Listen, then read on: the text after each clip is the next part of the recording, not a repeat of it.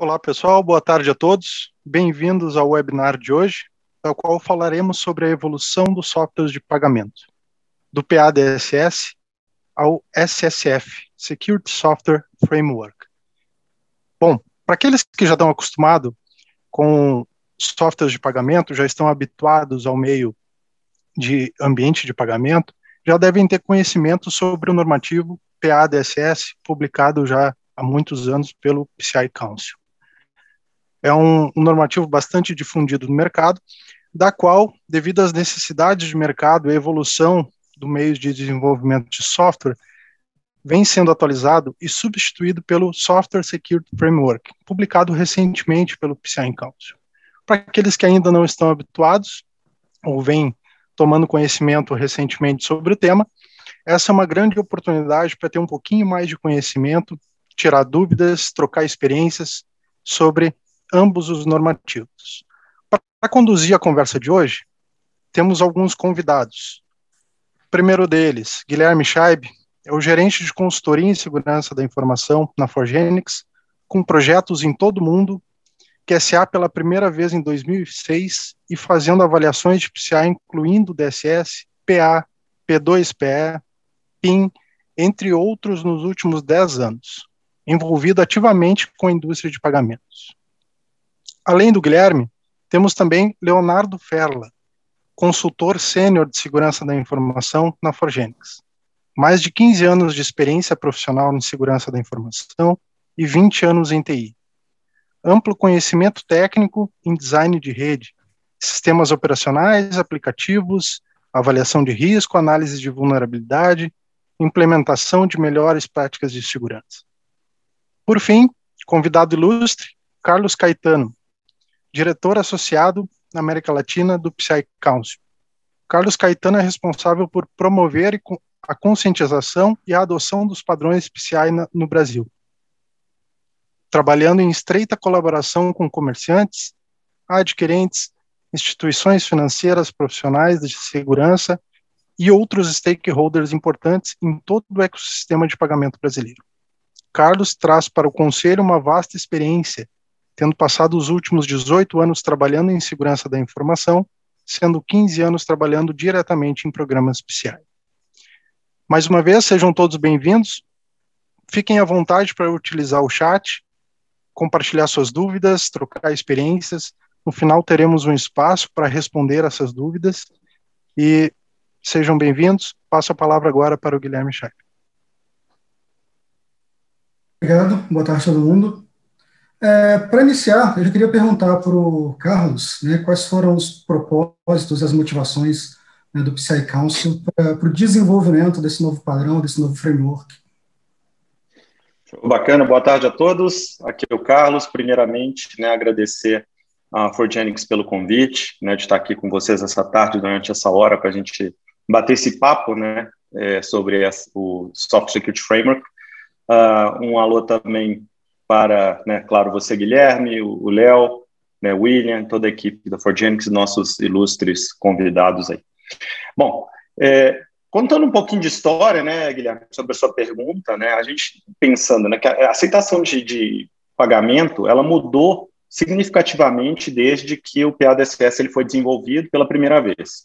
Né, então, como você coloca aí na tela, né, ele, ele foi lançado em 2008, no momento em que, quando você entra no desenvolvimento de software tradicional, né, naquele ciclo de desenvolvimento é, de vida de um software de pagamento tradicional para ajudar os comerciantes, principalmente, a manter a conformidade com o PCI DSS. Se eu trago isso para o cenário brasileiro, né, é como você pensar que o PADSS está direcionado para os softwares de teste né, do nosso mercado, né, naquele modelo tradicional de pagamentos que a gente conhece.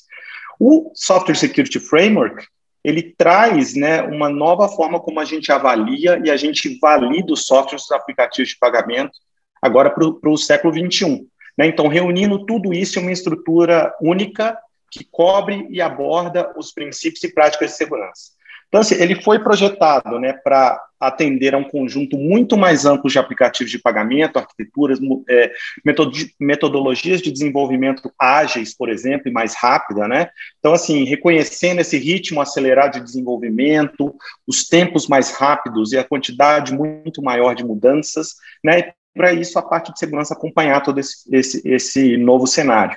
Né? Um ponto importante também para comentar é que o SSF ele foi desenvolvido já pensando em ser menos prescritivo que o PADSS. Né? Então, ele traz o conceito que a gente chama de objetivos de segurança, né, ao invés dos tradicionais requisitos de segurança portados do PCI DSS, para o foco em software de pagamento. Eu acredito que a gente vai entrar em mais detalhes, né? né a gente tem muita coisa para falar aqui, então vou deixar para a gente entrar em outros detalhes na medida que a gente avança. Eu espero que o pessoal né, tenha dúvidas e coloque perguntas para a gente aí durante o webinar para a gente responder no fim. Obrigado, Guilherme. Okay. É, aproveitando seus comentários, só fazer uma, uma breve análise aqui da evolução né, das normas, desde o PABP, que foi aquela primeira norma publicada pela Visa em 2004, quando a gente estabeleceu aquele primeiro padrão para de melhores práticas né, de software para pagamento. É, depois a gente teve, com a evolução, teve o lançamento do, do PCI DSS no meio do caminho, é, e depois, a partir de 2008, né, foi quando o PCI Council né, publicou a primeira versão do PADSS, substituindo né, o PABP, né, que na época realmente era um documento específico da Visa. Né. Agora a gente já está né, no 2021, né, a publicação do, do SSF, ele foi feita já em 2019, e a gente está agora no momento presente, já quase no final aí do, do ciclo de vida né, do, do PADSS, e já entrando nesse novo mundo. É, queria aproveitar também, né, chamou, introduziu, introduziu o Leonardo aqui na conversa, é, é, em relação a, ao, impacto né, do, do SSFF, a diferença do, dele para o ADCS, né, o que, que você teria assim, para poder colocar para a gente? Boa tarde, pessoal. Obrigado aí pela presença. É, eu acho que boa parte, o Carlos comentou.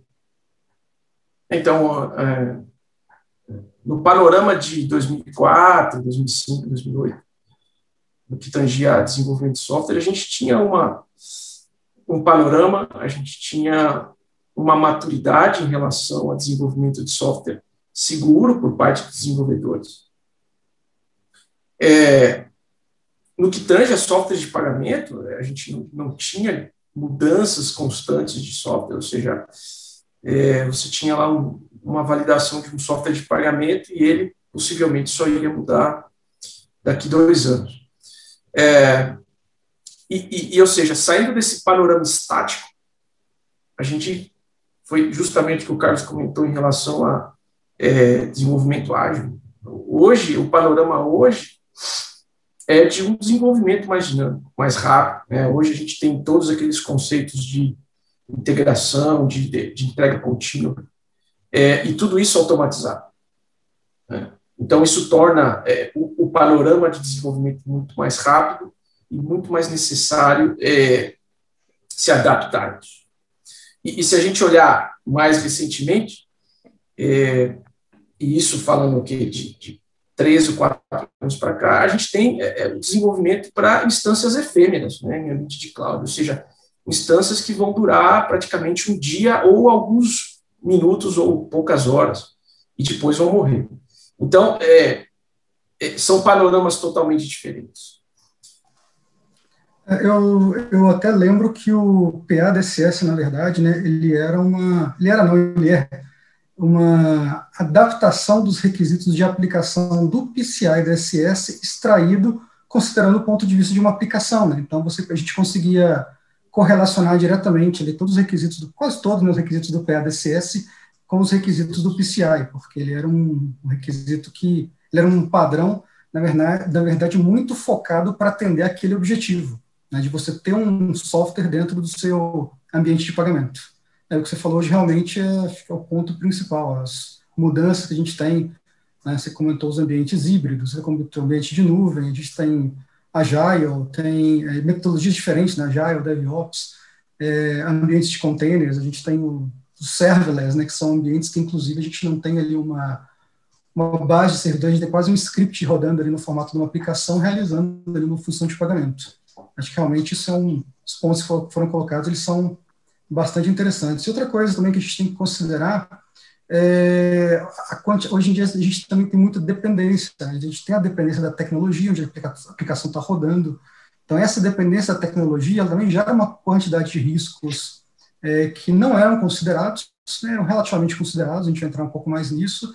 É, também pegar, por exemplo, as bibliotecas, plataformas, tudo isso que está suporte à aplicação, isso não era muito foco do, do PADCS, é algo também que até foi um comentário né, tanto de você quanto do Carlos, foi uma mudança bastante significativa da, da norma. É, queria colocar agora, só aproveitando uma enquete, né, com, com algumas respostas para quem quiser, quem puder responder. É, deixa eu só ver que ela deve aparecer aqui na tela. A enquete. Não está. Bom, não sei se não está aparecendo. Não, agora. não vai. Não vai aparecer. Então, tudo bem. É... Não, mas. Beleza. Acho que, acho que já vai colocar. Né?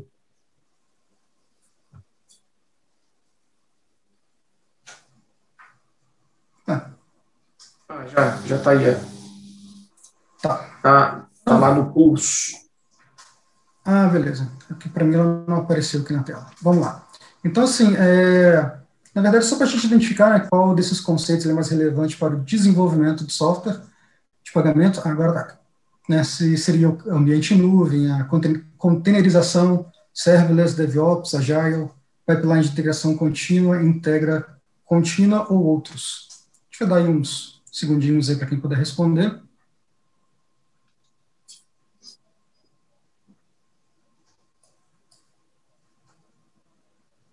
Lembrando, enquanto o pessoal responde, Guilherme, o que você falou até nas primeiras versões do, quem lembra do PADSS, tinha referência direta ao número do requerimento do PCI-DSS. Né? É. Verdade.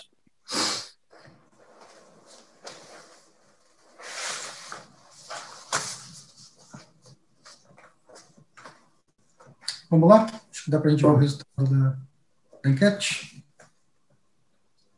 Tá bom? Vou fechar aqui a, a, a, a enquete. Ok. Então, analisando, na verdade, o que a gente tem que foi mais considerado, né, foram os pipelines de integração contínua. Se a gente pegar os outros itens, eles foram bastante é, quantidade ficou bastante parecida, né? Acho que o que destacou aqui um pouquinho, na verdade, foi os pipelines de integração contínua e entrega, entrega contínua, que é um ponto bem interessante também, se a gente for tratar um pouco, né, do software, o Security Lifecycle, acho que isso aqui também é algo que foi devidamente considerado na, na, na versão nova do framework. É. Eu, eu, queria fazer um comentário, assim, esse, esse tema de pipeline, né, de integração e entrega contínua, ele, ele não é só um assunto é, bem é, procurado, no, não só no DSS, como ele começa a fazer parte também do SSF por conta da natureza. É, então, assim, eu, eu imaginei que a resposta ia ficar entre ambiente de nuvem e pipeline. Né? Então, a gente vê que são talvez os dois temas mais relevantes mas é, quem sabe no futuro o serverless começa a tomar um pouco de protagonismo com essa movimentação de, é, de software, é, basicamente quase sem infraestrutura é, vista. Legal. Ok, então vamos seguindo. É, ok. Bom, é, o, o que eu acho que é importante comentar para as pessoas que já, já têm o seu software é, certificado? E isso é uma pergunta muito comum. É, quais são as datas importantes em relação ao programa do PADSS, ou seja, ao encerramento e ao começo do SCC? É, o Cálcio já divulgou isso amplamente, é, através de e-mail, através de blog, é, mas é importante frisar essas datas. Né? Então, a primeira data que qualquer desenvolvedor que tenha é, o seu software PADSS é que até 30 de junho de 2021, então, estamos falando que mais aí uns alguns meses, ah, é, é, quando o, o, o cálcio, é, até essa data você pode submeter uma nova versão é, de, de uma aplicação, ou uma nova aplicação. A partir desta data, tudo deve ser considerado é, SSL, tá? ou seja, tudo deve ser considerado dentro do Security é, Software Program. Né? E aí, Guilherme, se você quiser comentar um pouco mais sobre essa data é, do dia 28. É, vale reforçar né, que essa data que o Leonardo está colocando, ela é a data limite para fazer um envio de uma nova aplicação né, ou uma mudança para uma aplicação já existente. É, a aplicação ela sendo enviada, né, ela sendo aceita, ela passa a ser considerada como válida até a data de 28 de outubro de 2022, ou seja, a gente, uma aplicação de pagamento enviada agora, ou, ou as aplicações já, são, já, já estão listadas, elas continuarão como válidas até essa data. E é só para explicar a diferença do válida, porque existem dois conceitos na, quando você faz uma listagem de aplicação.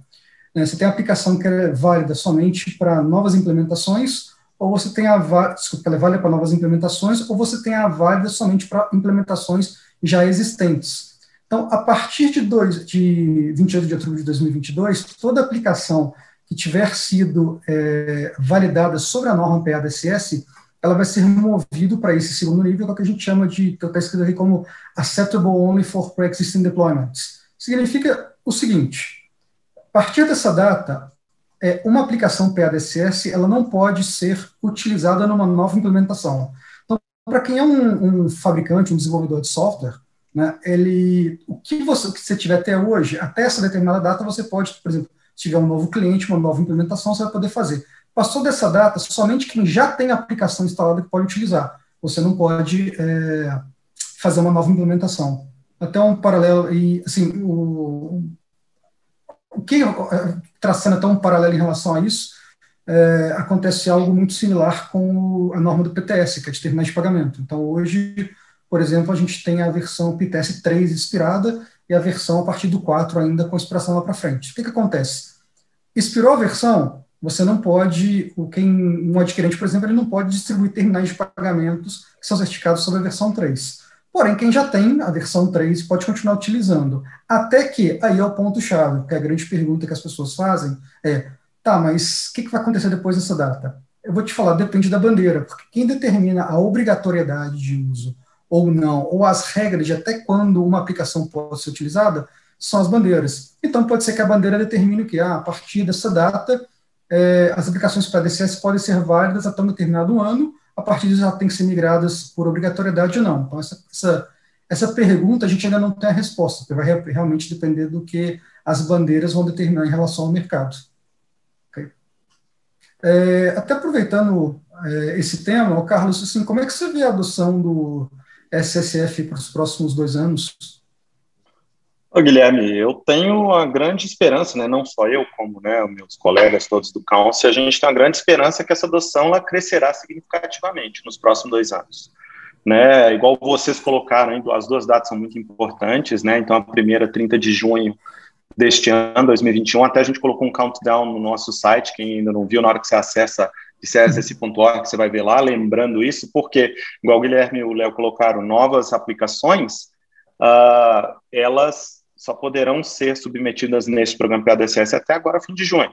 Né? E aí mantém-se o programa até 2022, é, justamente para atender as mudanças e manter o programa e garantir um tempo maior de migração né, do, do mercado. Então, assim, é muito importante que aí nesse, nesse tempo, né, todos os comerciantes, como você acabou de bem dizer, Guilherme, os comerciantes, os, os fabricantes de software, os adquirentes, entrem em contato, né, por exemplo, adquirente com as bandeiras, entendam bem o que, é que essas datas querem dizer em relação a, ao seu plano, né, com, né, e eu acho que uma palavra-chave aqui é um pouco do que a gente está fazendo agora, é conscientização, né, assim, é todos estarmos entendendo como essas coisas funcionam, né, entendendo essas regras, é, destacar, né, acho que outro ponto importante que ao contrário do PADSS, que tinha um programa fixo, né, o programa do SSF, ele é modular. Né? Então, nós temos os módulos core, né, que é o módulo padrão, para quem vai conhecer o padrão vai ver que ele é, acho que vocês vão falar um pouco mais sobre isso em seguida, mas que ele é abrangente para qualquer tipo de software, e o Account Data Protection, que vem para proteção específica de dados de cartão. E aí a gente vai lançar já um módulo para terminais no fim deste mês, né, na versão 1 do, do Soft Security Standard, e nos próximos dois anos, à medida também que vão tendo evolução né, dos meios de pagamento, evolução da indústria, o legal deste framework é que justamente a gente pode adicionar novos módulos à medida que a, outros casos de uso aconteçam, novos cenários venham, venham né, para atender as necessidades da comunidade. Um grande exemplo disso, para finalizar e voltar a palavra para vocês, é, por exemplo, e-commerce. Então, a gente já está iniciando o processo de desenvolvimento do módulo específico para suportar e-commerce. Né, isso, então, vai ser desenvolvido durante o ano. Ainda não tenho data específica para comentar de lançamento, mas já está na nossa né, esteira, como o pessoal gosta da esteira de projetos, né, já está sendo desenvolvido. De volta para vocês aí. Legal. É, Bom, é, queria ilustrar um pouco essa figura que vocês estão vendo, e, e ela, é, ela é bem desenhada para explicar é, conceitualmente é, o, o, SSF ou o Software Security Framework. É, voltando, só relembrando que o PADSS ele é uma norma. É, a diferença aqui é que o Council ele introduz um framework. Né? Então, é, o acrônimo seria SSF, é Software Security Framework. E embaixo desse framework, a gente tem dois programas completamente é, independentes. Né? Então, primeiro a gente vai ter o Secure SLC Program, que é um programa independente, é, preocupado em certificar o ciclo de desenvolvimento seguro.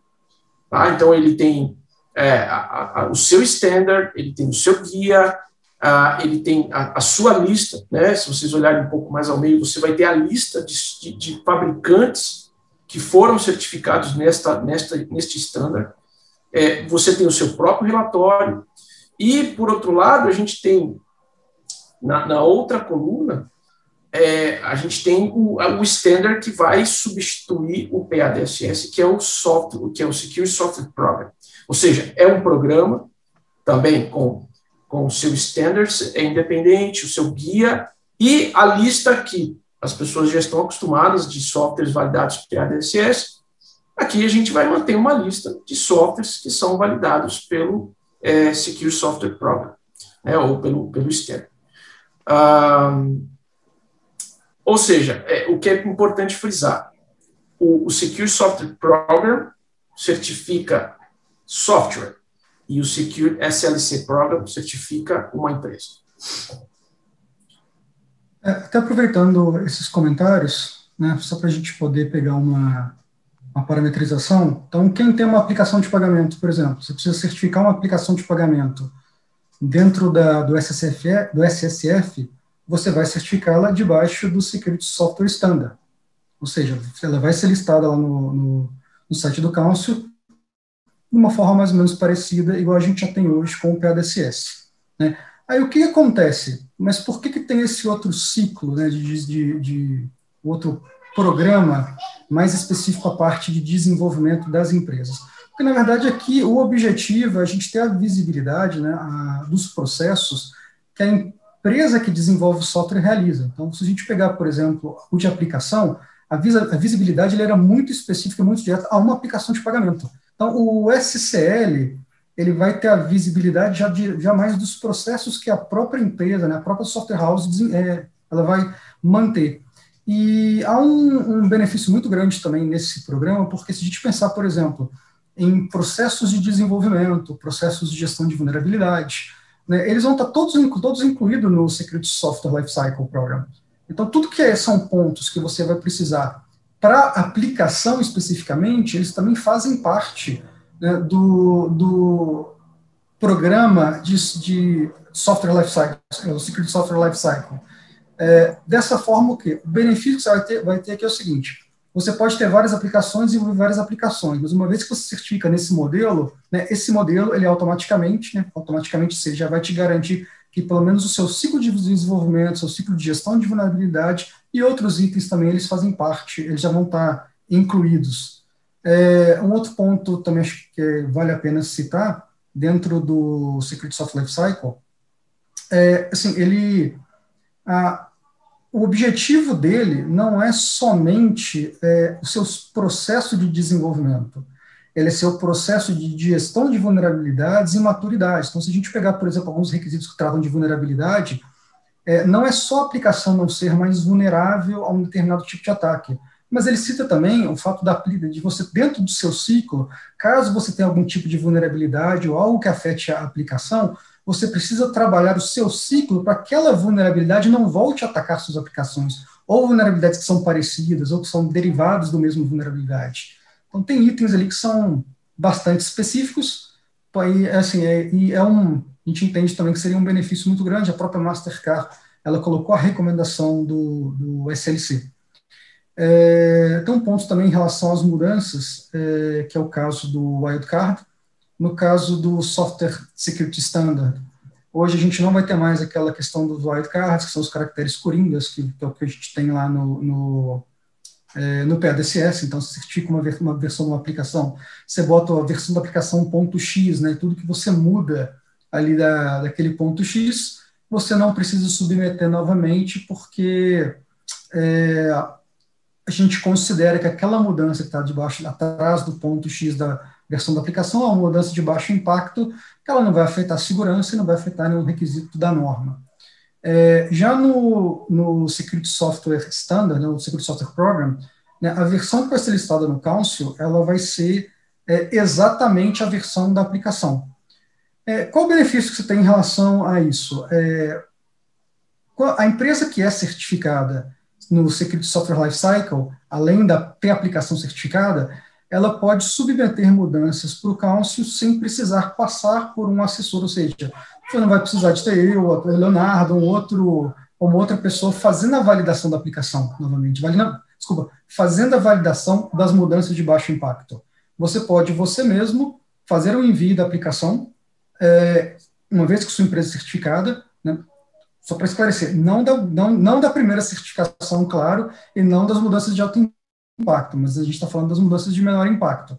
Então, você mesmo pode fazer o envio e automaticamente, uma vez que você é recebido pelo council, né, enfim, sendo, isso sendo aceito, é, automaticamente você já vai ter listado ali no site sempre a última versão. Isso tira um gap também que tinha antes, né, que é aquele gap da gente ter que você ter que precisar de uma pessoa do PAQSA sempre para validar qualquer mudança né, de baixo impacto e para ele sempre ter que fazer a, o envio né, dessa mudança para o você tem todo aquele processo da submissão e um, um gap ali que te gerava em relação àquilo ali.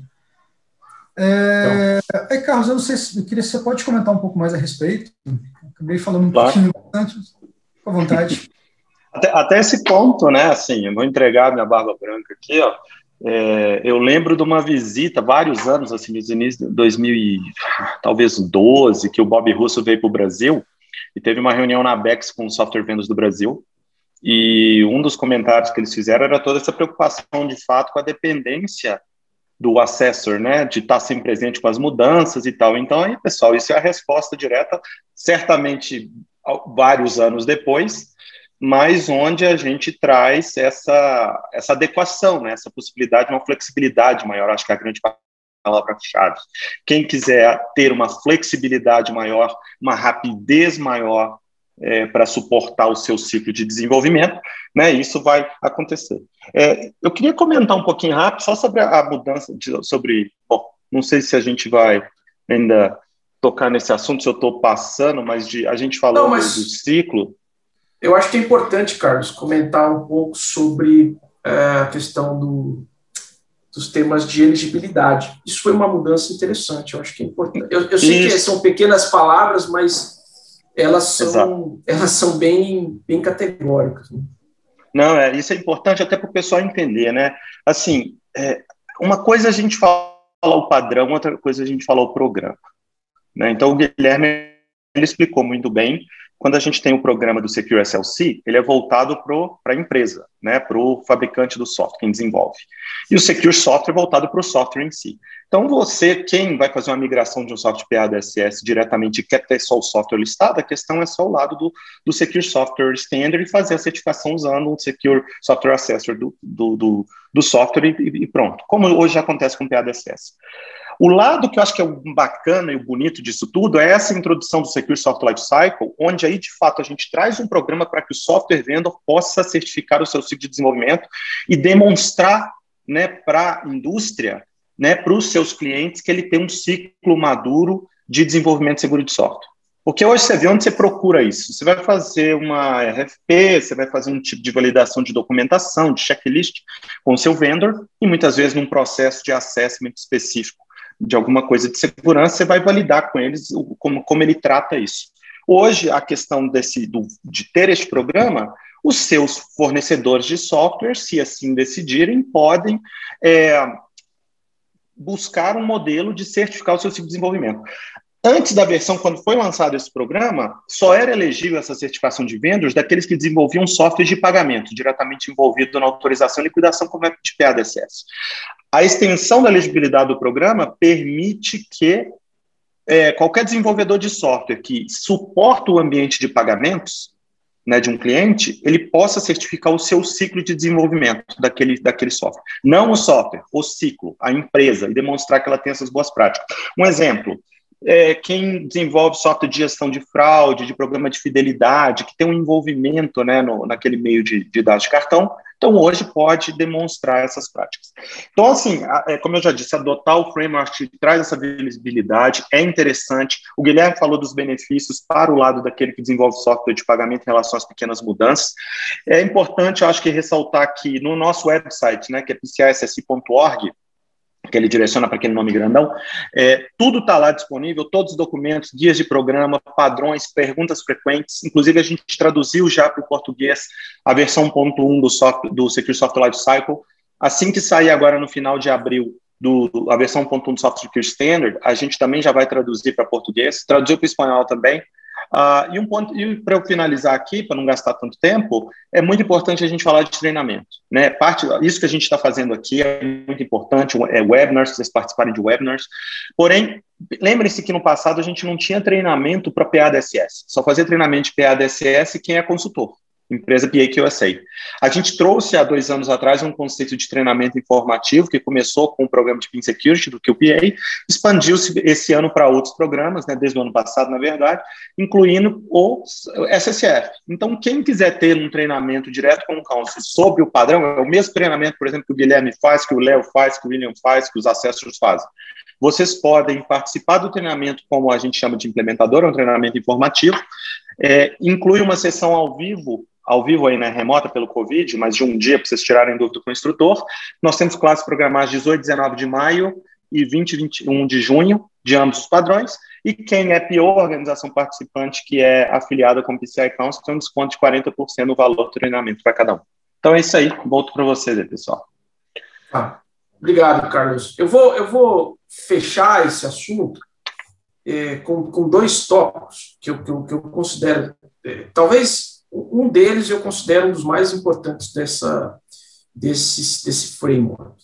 Né? Então, o primeiro, é, seguindo um pouco a, a, parte de elegibilidade, eu queria ressaltar um ponto que mudou é, na elegibilidade do, do, SS, do, do framework, que é, é, a partir de agora, é, a, a, questão de softwares entregues como PAS ou como SaaS, é, também são elegíveis. Né? Ou seja, é, lembrando todos aqueles, aqueles critérios de elegibilidade do PADSS, né?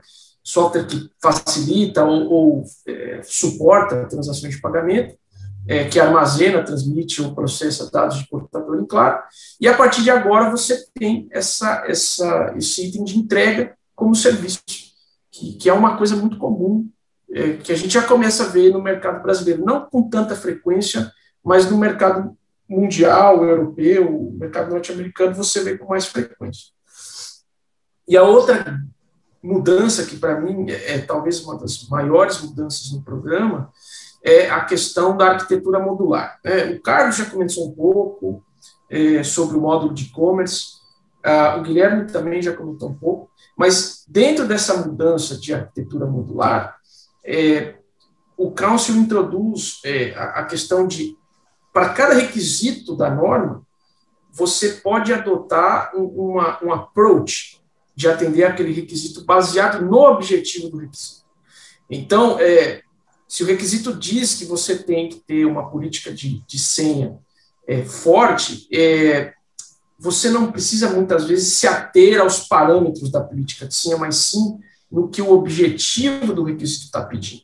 Então, você tem que se preocupar com a entropia, é, com, com, com, a preocupação do roubo da senha, ou seja, é, parece ser é, mais abrangente, né? ou seja, te dá mais possibilidades de atender um requisito. Às vezes, a sua companhia é, ela não tem como atender aqueles requisitos, mas ela consegue mitigar o risco proposto pelo requisito usando outros contratos.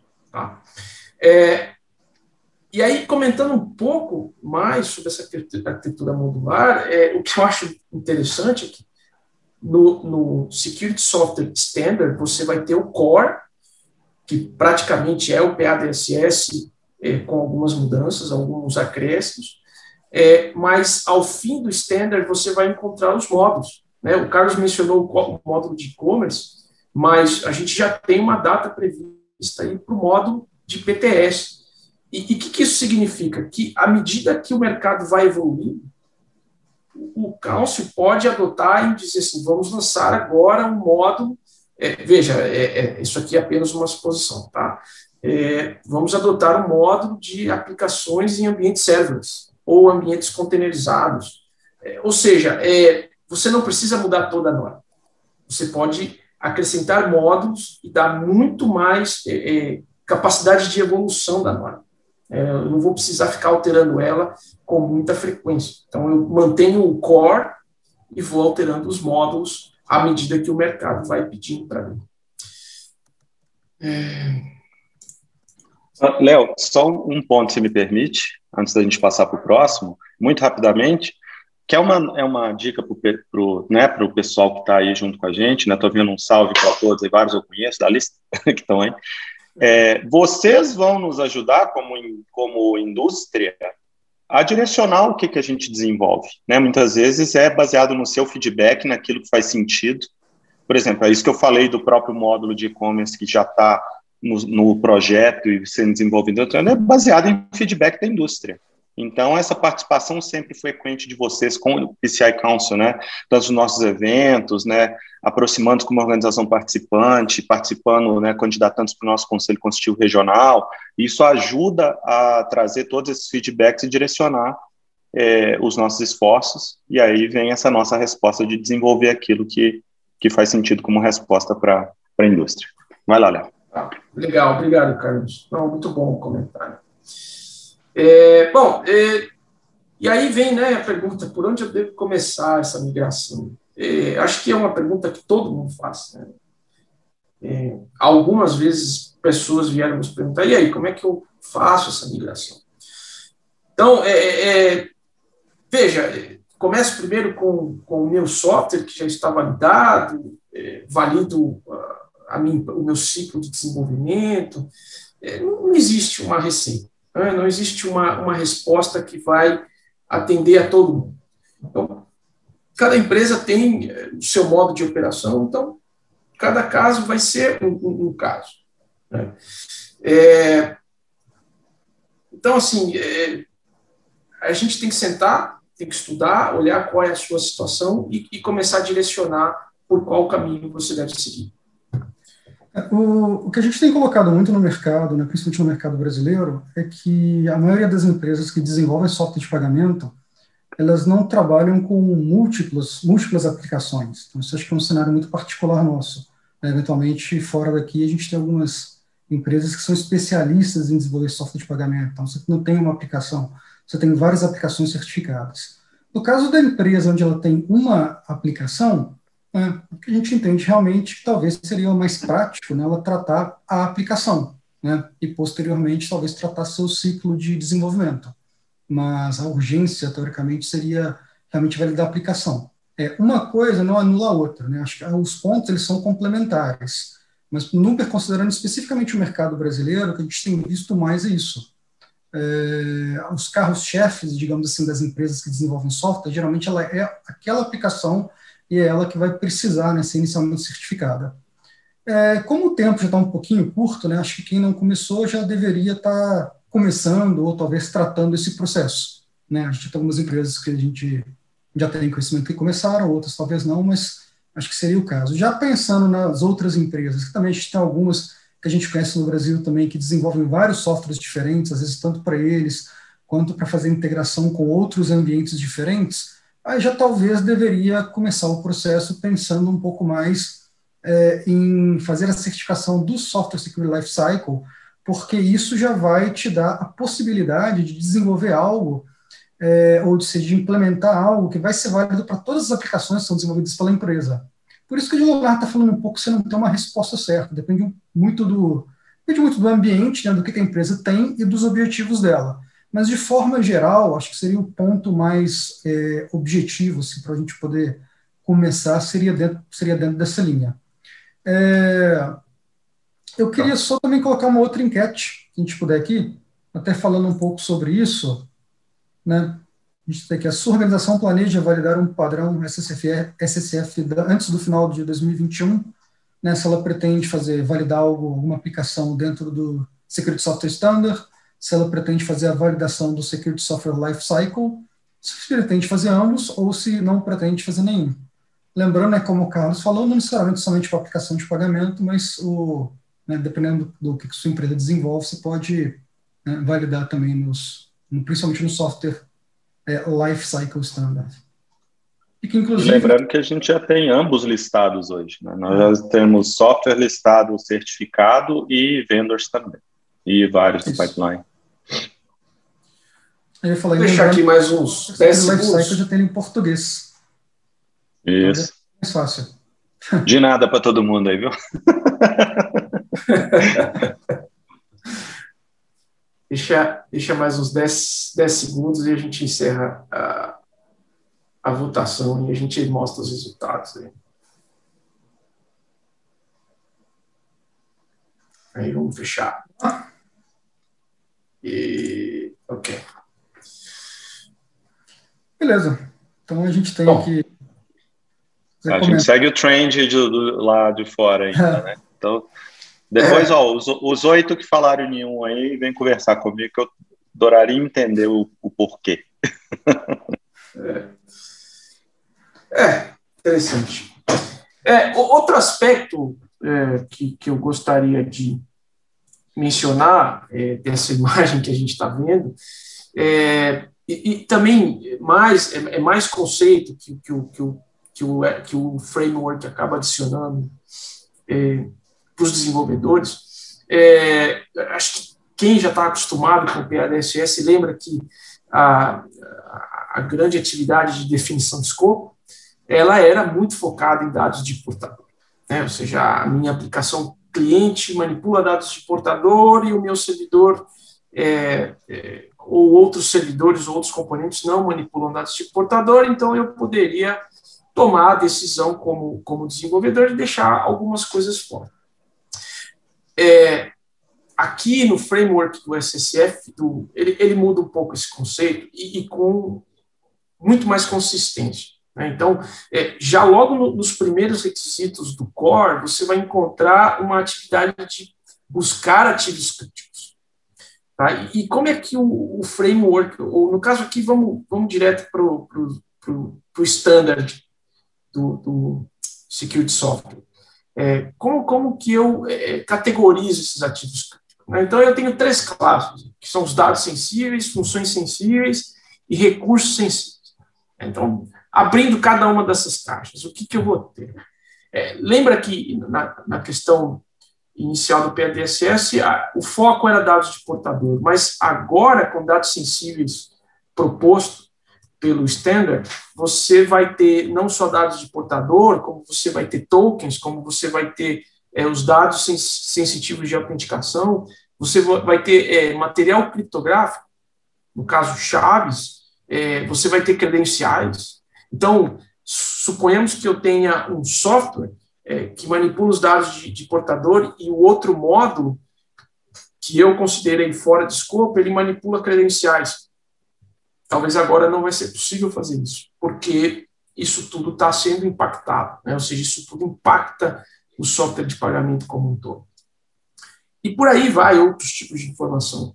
Quando a gente entra em funções sensíveis, é, volto mais ou menos naquele exemplo né, eu, eu, tenho uma função do software que é a autenticação de usuários. É, ela é crítica, ela, ela, precisa fazer parte do meu software, do meu escopo.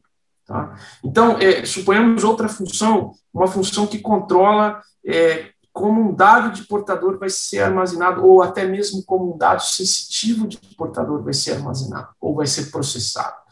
É, então, para aqueles que têm o costume de, de assinalar um check dizendo, olha, para funções de debug, eu vou fazer o expurgo da trilha do portador em arquivos de, de log. É, bom, esta função, é, ela deveria ser incluída no seu escopo, porque ela impacta diretamente a segurança do software de pagamento. É, como a, a, cada, cada dado é criptografado e armazenado em base de dados. E aí a gente entra em outro que também é muito interessante, que é a parte de recursos sensíveis. E, e aqui é, é, é, é a gente tem que ser open mind, né? porque o que, que são recursos sensíveis? Imaginemos que o seu software ele vive, ele vive no ecossistema, né? ele vive no ambiente. E tudo que permeia esse software pode, de alguma maneira, afetar o seu software. Então, é, imaginemos as bibliotecas que você usa para fazer é, por exemplo, você tem uma biblioteca de criptografia, uma biblioteca de autenticação de usuários. Isso são recursos sensíveis. Você precisa olhar para eles. Você precisa garantir que eles também é, seguem um padrão de segurança de acordo com o que o standard está pedindo. Né? Você tem, por exemplo, compartilhamento de arquivos, ou seja, no mundo BET existe isso né, para integração. Então, você também precisa se preocupar com essas interfaces é, de compartilhamento de arquivos. É, então, este, esse é um conceito importante é, para que quando você começar a migrar para o seu software, ou que seja atualmente validado PADSS, ou é, um novo, você precisa ter isso em consideração, você precisa ter essa identificação a priori. Tá? É, entendo que essa foi uma das principais mudanças, né? A gente estava acostumado ali com tratando ali dados de pagamento, né, a gente considera, desculpa, dados de portador de cartão, sendo aquele ali a chave né, para definir escopo, principalmente que a gente tinha muita é, segmentação ou modularização das aplicações para poder eliminar outros itens do escopo de validação. Então, agora a gente tem que considerar, porque o que é considerado dado sensível, né, ele é muito mais abrangente do que somente os próprios dados do cartão. É, isso está muito relacionado com o próprio framework e, e, o que a gente vai ver agora, que o objetivo, né, quando a gente considera né, no SSF, não é aquela proteção seca da aplicação. Né, ela tem o, o nível de tratamento, entendimento que você precisa ter da aplicação, do ambiente, do tipo de dado, o que, ela manipula, ele acaba sendo bastante, é, é bastante mais amplo, de uma forma geral. É, um dos pontos, claro, que a gente está tá aproveitando falando aqui desse, já desse slide, é, que, são, que foi colocado na norma é, é em relação à própria resiliência, ou seja, né, a capacidade do software dele se manter funcionando, dele suportar ataque, dele tratar ataques né, em relação a, a, não somente a própria aplicação, mas o framework no qual ele, né, o ambiente no qual ele esteja implementado, né, houve algumas mudanças, né, a gente já citou né, que o, a gente não tem mais os requisitos diretos, a gente tem objetivos de controle, onde você tem, tem a determinação do que cada objetivo de controle precisa cumprir. É, de forma geral, a gente selecionou alguns aqui, onde a gente entende que possa ter um maior impacto, principalmente considerando o cenário das aplicações é, do Brasil, né, ou das aplicações da nossa região, que a gente está mais acostumado a tratar, é, então, a gente vai só colocar um pouquinho essas mudanças, colocar um pouquinho de entendimento. É, Léo, se você quiser seguir, você pode ficar à vontade. É, é esses são os três é, objetivos de controle que, conforme o Guilherme falou, são os que a gente considera mais críticos. Né? É, e esse comentário do Guilherme, eu acho que é muito bom reforçar para todo mundo que está aqui, é resiliência. O software, hoje, ele, ele não pode mais dar ao luxo de ter todas aquelas camadas que ele tinha na frente dele. Tá? É, o que eu quero dizer com isso? Antigamente, o desenvolvedor, às vezes, ele tinha uma certa tranquilidade porque o software dele não estava exposto ou é, é tinha é, algumas camadas de proteção até que os, o, a, a, alguém pudesse ter acesso a esse software. Hoje já é, o, o, conceito é diferente. O software hoje ele, ele tem que ser desenvolvido para viver em ambiente hostil né, ele tem que ser programado para ser resistente, independente de onde ele esteja é, é, implementado. E esses quatro objetivos, esses três objetivos são, eles tocam nisso, né? Que é, é você precisa ter um cenário de identificação de modelagem de ameaça, que é no caso do objetivo 4. Aí. É, você precisa ter é, controles é, para identificar comportamentos anômalos do seu software, ou até mesmo resiliente contra ataques, ou seja, o seu software consegue se defender é, de um comportamento anômalo. É, e o último, que é um, todo um processo de gestão é, de ameaças e vulnerabilidades, ou seja, não é uma coisa que você faz uma vez ao ano, é uma coisa que você tem que fazer todos os dias, ou seja, você precisa observar o ambiente. Né? Falando um pouquinho mais específico sobre o objetivo 4, que, que é um tema é, que eu escuto muito pouco no mercado, é, a gente escuta muito conceitualmente, mas na prática a gente não vê muito, que é a questão de modelagem de ameaças. Né? Então, é, imagine que você vai desenvolver o seu software de TF. É, como é que você faz uma modelagem de ameaça? Né? Existem frameworks, existem guias que vão te ajudar a fazer isso, mas é, de uma maneira talvez muito simplória, até me, me desculpem se, se, eu vou ser bem simples, porque esse tema de modelagem de ameaças é, é uma coisa talvez até um pouco complexa, é, mas imaginemos que o seu software de TF, ele, é, é, você tem que mapear que tipo de informações importantes, sensíveis ele recebe. Você precisa ter essa variável. Né? Isso passa pelo requisito, pelo controle objetivo 1, que é a identificação de ativos críticos. E, e, com, essa, com essa variável, você vai agregar a variável de quais são as ameaças que eu tenho para esses dados. Então, eu recebo dados de portador, dados de credenciais, e olhando o mercado atual, quais são as ameaças que eu tenho? Ah, eu tenho ameaças de roubo, eu tenho ameaças de alguém tentando atacar o meu TEF. É, legal. Então, a partir daí, você precisa juntar essas duas variáveis e começar a modelar o seu software, modelar uma ameaça e proteger o seu software contra essa ameaça. Nota que isso tem que ser feito no design do software. Então, é, muda um pouco o panorama de como você começa a construir o software só baseado em funcionalidade. Né? Esse panorama mudou. Agora você também precisa olhar, ok, eu tenho a funcionalidade, mas esta funcionalidade, que ameaça ela introduz no meu software?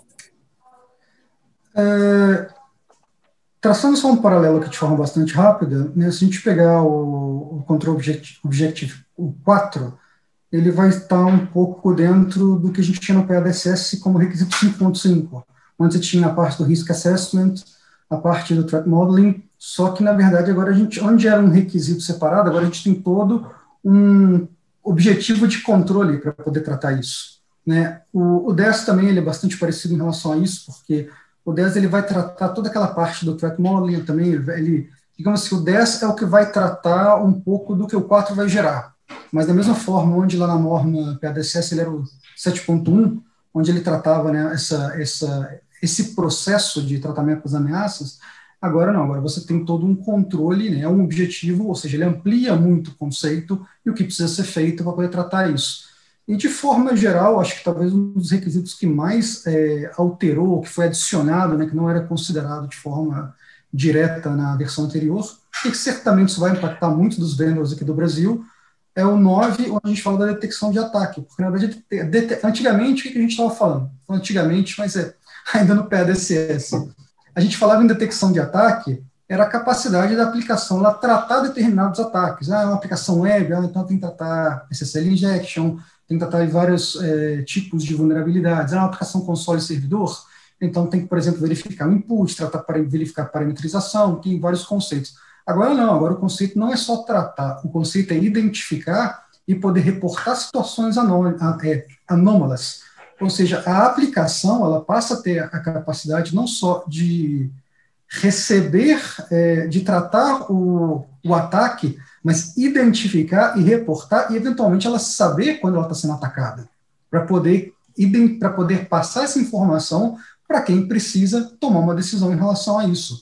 Então, acho que seria um dos pontos é, principais, ou seja, como é que a aplicação ela vai conseguir não somente detectar, porém alertar comportamento, alertar, por exemplo, se ela está sofrendo um brute force não de dados, mas de contas, de tentativas de autenticação, é, se, por exemplo, algum dos seus componentes ele, ele eventualmente teve um problema de integridade, algum dos modos, talvez alguma das bibliotecas que estão sendo utilizadas. Então, a ampliação desse conceito e a forma que ele é colocado agora na, na versão no SSF, né, ele não é, ele é muito diferente, né, ele é muito mais abrangente do que a gente tinha considerado na versão anterior, ok? Eu acredito que seria, né, acho dos, obviamente existem outros pontos, alguns dos pontos anteriores eles são correlacionados, por exemplo, se a gente pegar ali, tem um control object que é somente para tratar a parte de criptografia, que no PADSS a gente tem os requisitos de criptografia em pontos específicos, agora não. Ele existe um grupo que somente trata da parte de criptografia, onde todo, toda a relação, ou toda a parte criptográfica, desde a geração, tratamento de chaves, é, independente de ser de dados ou de senhas, está tudo tratado dentro daquele objetivo. Então, assim, é um ponto também, um exemplo a mais que a gente está colocando para ser considerado na, na norma. Ok? É, de forma geral, acho que os pontos que a gente queria levar seriam esses. A gente tem agora, acho que a gente tem algumas perguntas. Deixa eu só verificar as perguntas que a gente tem. É, obviamente, primeiro queria agradecer a todo mundo que participou. Quem quiser passar mais perguntas a gente vai tentar responder algumas de forma rápida.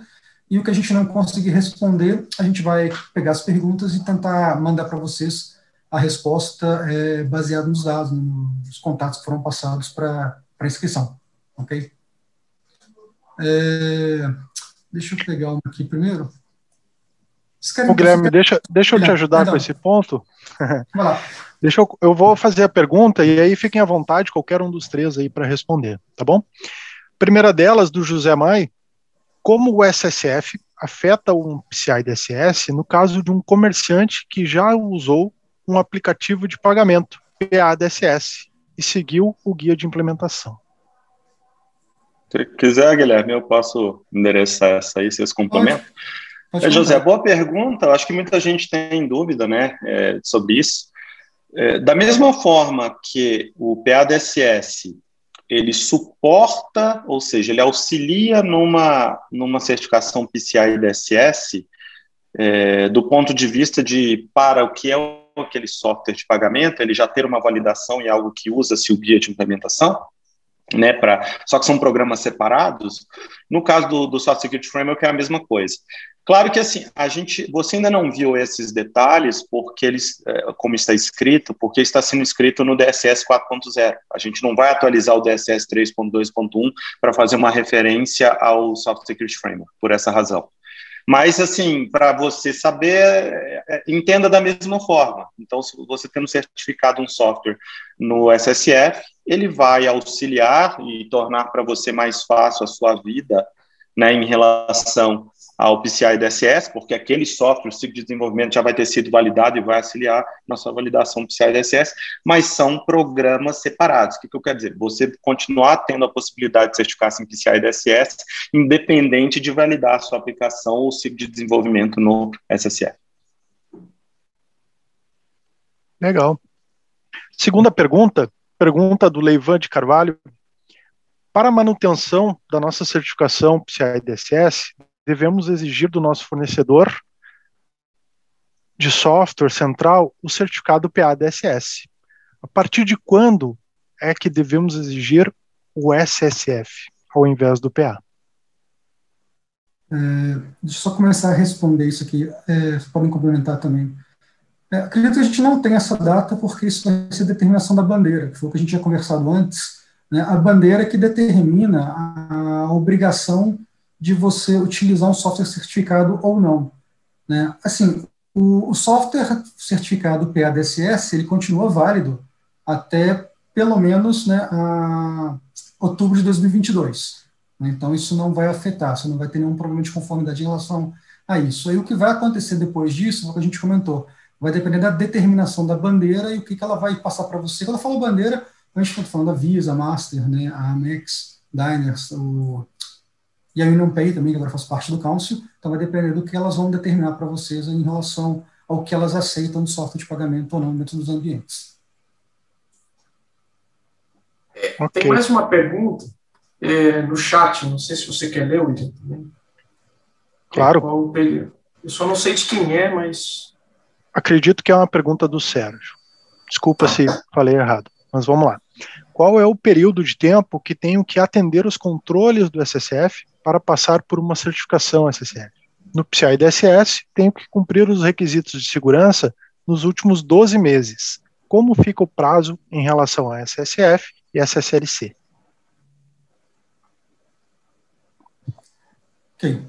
Eu acredito que sejam dois anos ainda. Na, na, na verdade, eu, não, só a pergunta está falando do ciclo completo. Né? A primeira certificação, né, vou considerar, Carlos, você pode ficar à vontade de interceder se entender diferente, mas uhum. quando a gente faz uma primeira certificação, é, por exemplo, de PCI-DSS, né, ou de PA também, a gente não exige que a empresa ela tenha aqueles controles há mais de um ano, porque, obviamente, você não consegue, se a gente está fazendo uma primeira certificação. É, o que a gente valida na primeira certificação é os processos, as políticas, os procedimentos, se eles são implementados de uma forma que ele vai garantir que todos esses processos vão ser mantidos durante o próprio ciclo de vida da aplicação. Por isso que a gente tem muita política, né? Você verificar tudo, ele tem uma política e um procedimento associado. Então, entendo que na primeira certificação a gente vai validar o cenário, vai validar a aplicabilidade dos controles e, obviamente, para os próximos ciclos, né, eles passam a ser validados. É, agora, em relação ao ciclo específico de validação da aplicação, eu, eu preciso só confirmar se, se pelo guia, pelo programa guide, como isso está determinado. Porque, na verdade, você colocou na verdade, você colocou isso, é, 12 meses, na verdade, na verdade acho, que, acho que eu te respondi a sua pergunta. Eu ia responder uma outra coisa que agora também. Mas acredito que eu tenha respondido a pergunta. É isso, é isso mesmo, Guilherme. Eu não tenho nada a incluir sobre isso.